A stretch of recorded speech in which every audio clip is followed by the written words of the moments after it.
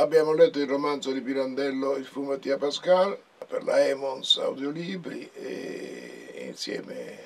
a me hanno letto Cecilia D'Amico e Giovanni Maria Briganti che interpretavano alcuni personaggi del romanzo. Sei un grande critico di lingua tedesca,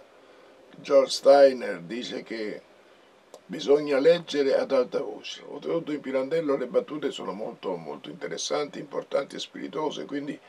è, è necessario che ci sia quasi un'esigenza che ci sia un altro che le dica, perché sono dei dialoghi. Abbiamo scelto Infumati a Pascal proprio perché è il titolo che racchiude eh, tutti i temi presenti nell'opera pirandelliana, perché è un romanzo raccontato in prima persona da Mattia Pascal che fa il racconto della sua vita e raccontando la sua vita ci sono molti momenti di riflessioni, di monologhi interiori che sono proprio strutturati in maniera dialogica, per cui nel romanzo io ho interpretato la coscienza anche di, di Mattia Pascal e, ehm, e quindi era proprio emblematico di tutta la poetica pirandelliana.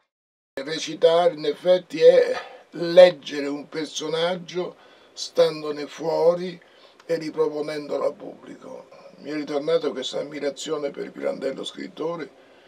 perché certe volte poi uno rimane sorpreso da, da, da, da come cambiano le cose, dalle invenzioni che lui crea e,